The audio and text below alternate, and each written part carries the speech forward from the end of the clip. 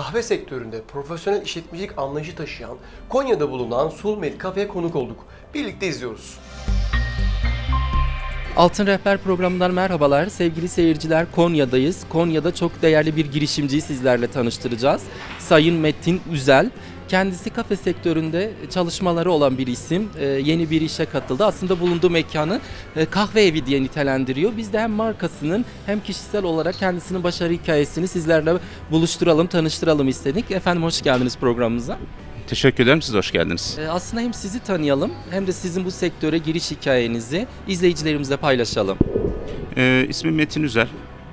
Ee, aslında ben veteriner fakültesi mezunuyum. Ee, veteriner fakültesi bitirdikten sonra e, uzun yıllar ilaç firmalarında çalıştım. Ee, ve orada yöneticilik yaptım. Daha sonra emekli oldum. Ee, biliyorsunuz birçok insanın hayalinde bir kafa açma e, düşüncesi vardır. O düşünceyle hareket ederek e, emeklilikten sonra biraz daha keyifli, biraz daha dinamik e, ve bir e, para da küçük olsa kazanabileceğim bir işletme sahibi olmak istedim. Bu nedenle bir e, kafe girişiminde bulundum. E, ve sonuçta Soulmate e, kafeyi bugünkü haliyle bu mağazayı oluşturduk. Mekan e, yani iki bölümden oluşuyor. İşte şu anda bulunduğumuz bir alan. Bulunduğumuz alanda sigara içilmeyen ve bir de teras, sigara içilen bir teras alanımız mevcut. İç kısım ve terastan oluşuyor. E, Peki hizmet olarak neler sunuyoruz? Biz kahve evi diye başladık. Zaten siz de öyle tanımlıyorsunuz. Neler sunuyoruz? Evet, standart bir kafeden ziyade bir kahve evi gibi anılan, daha doğrusu e, müşterilerimizin de bunu e, bu şekilde dillendirdiği, adlandırdığı, çok güzel kahvelerin içilebildiği, kahveyle birlikte kahvenin dışındaki diğer sıcak içeceklerin de e, çok tercih edildiği bir e, alan. iki bölümden oluşuyor. Biri bu kahve ve kahve dışındaki sıcak içecekler artı ve fırın grubu. Fırın grubumuzda bizim günlük kendimizin pişirdiği, sabahları pişirdiğimiz ve e, müşterilerimizin keyifle e, yiyebileceği gruptaki bir küçük bir şey fırın grubumuz var. Burada da özel yine e, unlu mamulleri çıkarıyoruz. E, artı dileyen insanlar için de e, karnı acıkırsa e, onlar için de bir sandviç grubumuz var. E, o sandviç grubu yiyecek grubu sınıfına giren kısım ama ağırlıkta kahve ve kahve dışındaki diğer tüm sıcak içecekler daha çok ağırlıklı tüketiliyor.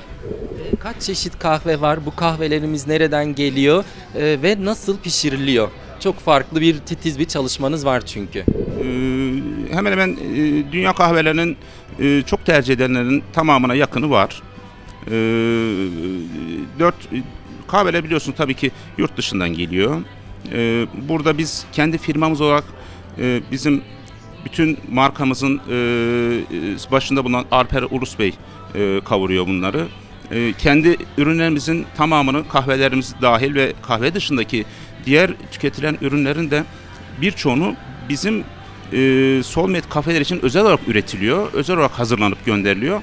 Bu bakımdan kahvelerimize de yüksek kaliteli çekirdek kullanıyoruz. Kendimize ait bir özel harmanımız var. E, o harmanla birlikte e, haftalık bir kavrularak bize geliyor ve biz bunu e, tüketicilere burada hazırlayarak sunuyoruz. Yeni bir yer olmasına rağmen e, güzel bir ilgi var. Siz bunu neye bağlıyorsunuz? E, ilgi öncelikle disiplinli çalışmak ve e, fark yaratmak. Açıkçası farktan kastım da küçük ayrıntılarda gizli. Küçük ayrıntıları üst üste yan yana koyduğun zaman daha büyük başarılar meydana getirebiliyor. Ve rekabet edebilme e, yeteneğinizin veya rekabet edebilecek hizmetinizin de olması gerekiyor.